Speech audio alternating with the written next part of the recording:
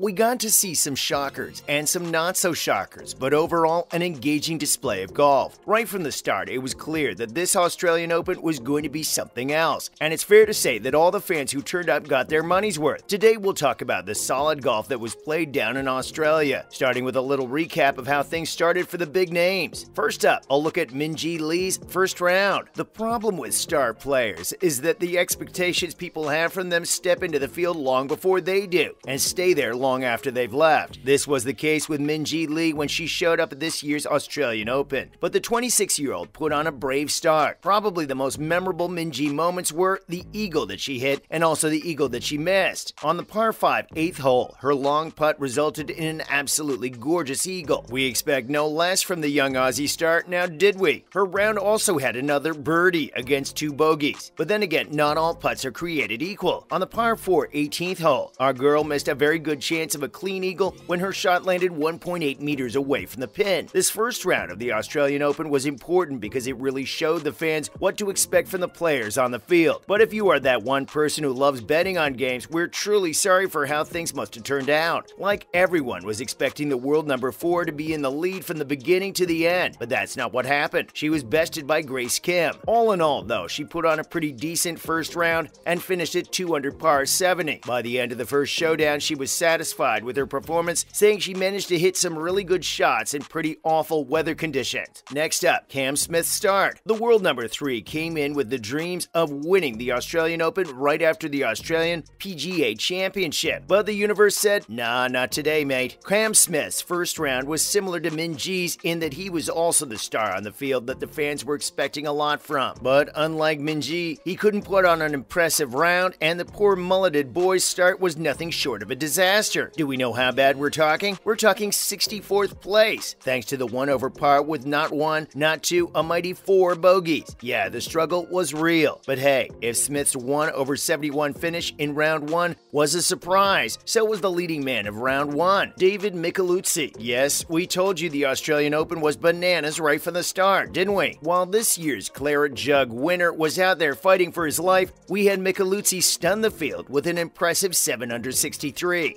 Now, David is a very talented guy, we don't doubt him one bit, so allow us to explain why his performance was such a shocker, especially in a field where the likes of Cam Smith and Adam Scott were struggling. Our guy Micheluzzi stands at number 506 in the world rankings, which is also his best to date. Yep, now you know why we're stunned. Following up what Smith had to say, the Australian star was understandably very unhappy with his start at his home open. He commented on his performance saying it was pretty rubbish and that it was his worst performance in a very long time. We stand a self aware king. Now, to be fair to the mulleted golfing genius, the course they played on that day, the Victoria Golf Club, is pretty notorious for being tricky. And on top of that, the weather added its own level of nastiness to the day, too. Cam Smith didn't fail to mention this either. He said that the course was exceptionally difficult and the weather conditions made it harder to navigate. Even then, he admits that he should have and could have done better. In fact, the advantage of knowing this course well might have been one of the factors David Micheluzzi was able to put on the game that he did. He said that he knows this course like the back of his hand. Moving on, how things ended on the women's side. No, Minjee Lee didn't win. Neither did Grace Kim. The real queen of the Australian Open turned out to be Ashley Buhai. The world's number 24th ranked player smashed it and won her second Australian title of the year. The South African rose to the top as Grace Kim's performance saw a decline as the tournament rounds progressed. Closing the game at 1 over 73, she left behind South Korean Ji Shin, who stood at 75 for second place. Buhai closed the tournament with an impressive 12 under. The only Australian in the top three was Hannah Green, who finished just behind Ji Shin. And then we had Grace Kim at fourth with Minjee Lee following behind at fifth on the leaderboard. This tournament wasn't very kind to the stars, was it? Anyway, the South African champion was over the moon about her win and even became teary eyed when talking about it. She called the Australian Open a cherry on top. And you know what? That's the perfect way to describe the absolutely stunning campaign she's had this year. The Aussie dreams were crushed because there wasn't a local winner.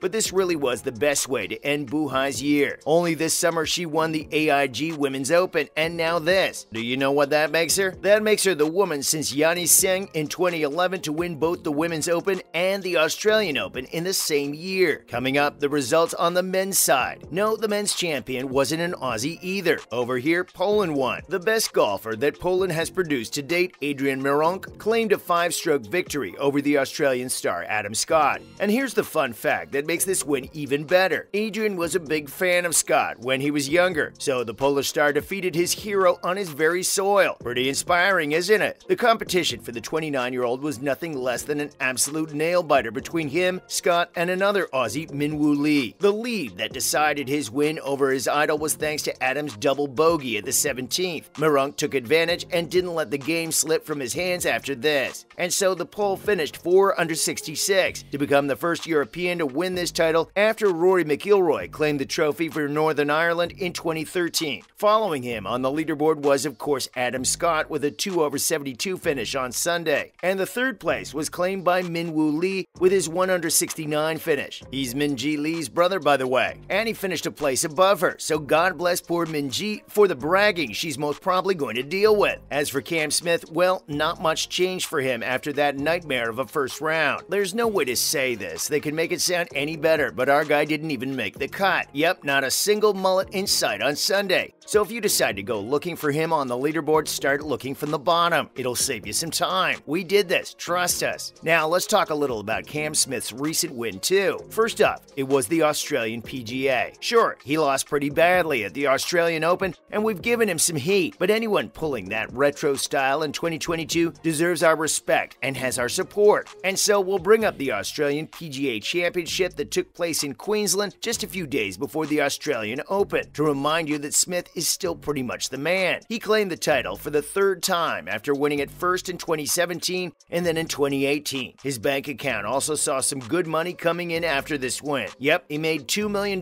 from it. Now, it might not sound like much after the ridiculous bag he's made at LIV Golf, but it's pretty good still. Up next, the conditions weren't good there too. Some people have criticized Smith for trying to blame the weather for his Australian Open nightmare, but we'd like you to consider that the Australian PGA Championship he won was played in nasty weather conditions too. Games had to be stopped and resumed because of the harsh winds, and this happened multiple times. Smith said that it was frustrating how the weather didn't let them play in peace. But then again, there was a happy ending to this episode, and he said he was happy about and really proud of his third win at the championship. Lastly, who else prevailed at the championship? Golf is one hell of a crazy game. You won't see many similarities between the leaderboards of the two tournaments. The results here saw Cam Smith at the top, followed by two players tying for second place, fellow Aussie Jason Scrivener and Japan's Ryo Hisatsune. For third place, there was also a tie between Minwoo Lee and English golfer John Perry. That's a wrap for this video. Did your favorite put on a promising performance at the recent Australian Open? Let us know in the comments below. Don't forget to give this video a thumbs up and subscribe to our channel for more videos like this. See you in the next one.